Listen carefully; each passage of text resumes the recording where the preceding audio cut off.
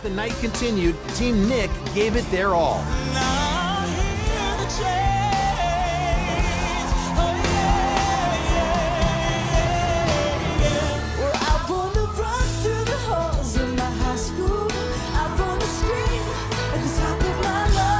Jose, you are one of my favorite people on my team. You have been solid in every performance.